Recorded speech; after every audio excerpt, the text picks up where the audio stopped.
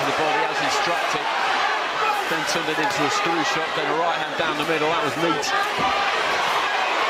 Blutski in a little bit of trouble here, goes down in a heap. Oh, good body shot. It was that combination again, wasn't it? It was the uppercut, right hand, left hand into the body. Left hand there for Whittaker, who's letting his hands go now. Final few seconds. He looked rocked there briefly. Blutski and Whittaker just mocking him slightly. Telling him off now, Mark Tyson, but he had a good three, four seconds there.